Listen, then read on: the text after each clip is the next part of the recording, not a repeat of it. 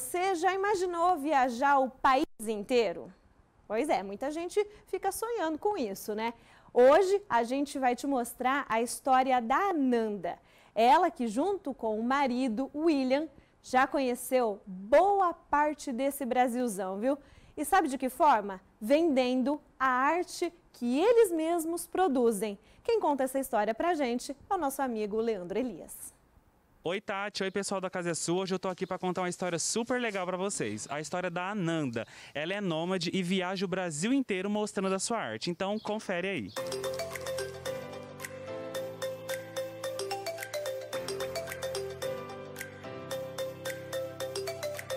Agora eu tô aqui com a Ananda e ela vai contar um pouquinho dessa história pra gente. Ananda, como começou essa sua jornada? Então, eu estava estudando, fazia faculdade e eu comecei a perceber, tipo assim, que eu precisava fazer algum, algum trabalho próprio, meu, né?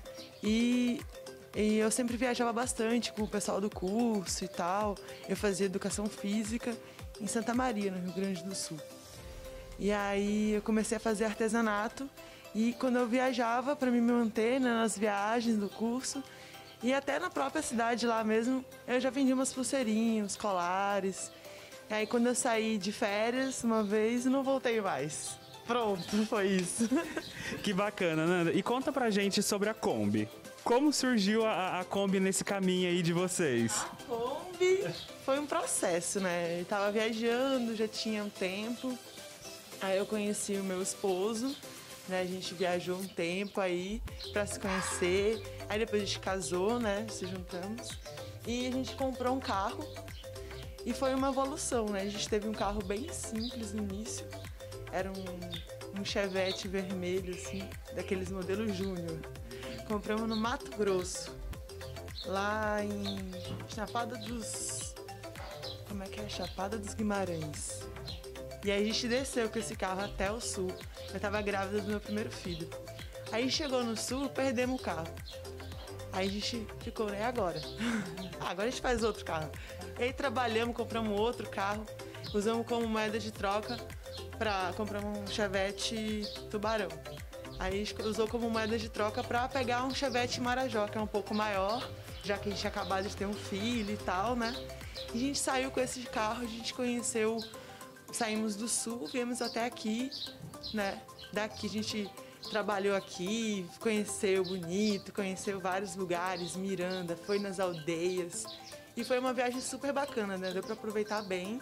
E a gente depois foi para Santa Catarina. Chegando lá, a gente comprou outro carro. Para chegar na Kombi, foi uma escadinha, um né? Foi um né? processo.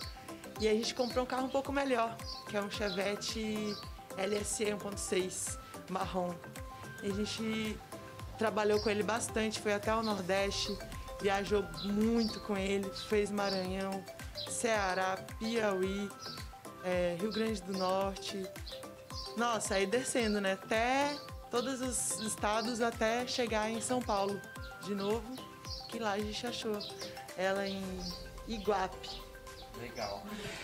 Ó, se você é de Três Lagoas, você já deve ter visto essa Kombi aí em algum lugar. Eles estão uma temporada por aqui. E Ananda, conta pra gente sobre essas experiências de passar por tantos lugares. Como é viver tudo isso, conhecer é, grande parte do, do nosso país?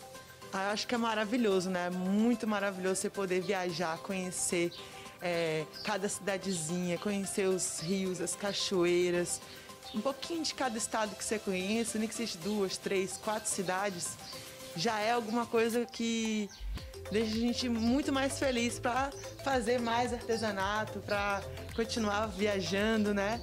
E agora com a Kombi, que a gente está aí quase três anos com a Kombi, dois anos e pouco, a gente deu para evoluir um pouquinho mais, sabe? Deu, graças a Deus, essa Kombi aí é, a nossa casinha. Futuramente vai virar o um motorhome. Bacana, que legal. Ó, e a Nanda mostrou um pouquinho aqui do que tem aqui atrás, vocês vão ver aí nas imagens, mas isso é apenas um pouquinho do que eles produzem. Isso aqui é só a ponta do iceberg, né, Ananda? Tem muito mais. Bastante. Quando tá na praia, a gente arma duas bancas dessas, assim. Aí bota bastante trabalho, né? Bastante variedade de matéria de cada região do Brasil. As pedras, elas têm lugares que, que elas são típicas, né? Tipo a ametista, ela é do sul, Aí tem pedra que é do, da Chapada, dos, dos, da Diamantina, que é na Bahia, Lençóis. Tem pedra que é de Goiás, tem pedra que é de Minas. E a gente vai né, coletando aí a matéria e fazendo as artes. Que bacana. Ó, se você ainda não conhece o trabalho da, da Ananda, ela ainda tá alguns dias aí na cidade. Procura pela Kombi Churumela aí no Instagram, aí pelos pontos da cidade para você poder conhecer melhor esse trabalho. E é isso. Até a próxima. Tchau, tchau, pessoal.